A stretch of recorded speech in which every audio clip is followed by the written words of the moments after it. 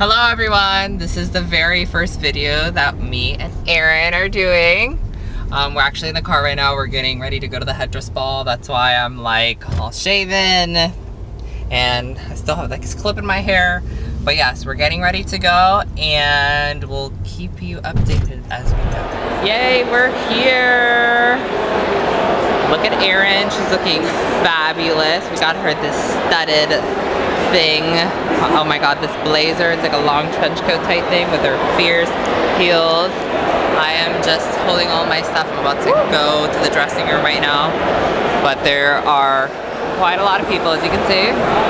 Look at Erin strutting her stuff. And work. Alright, I need to go before I get tackled. So this is Jose. He's done getting ready, looking all fierce. Look at that.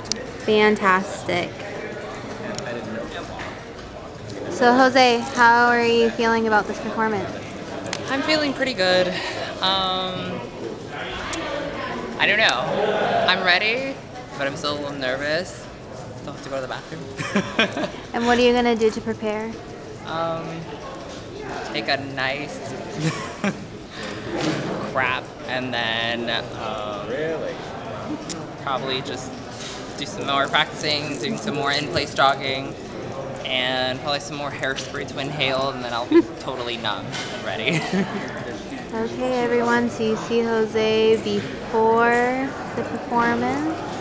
We still have time to practice and go to the bathroom and do all those good things. So here he goes, strutting his stuff with his feathers. Shake your feather butt. okay.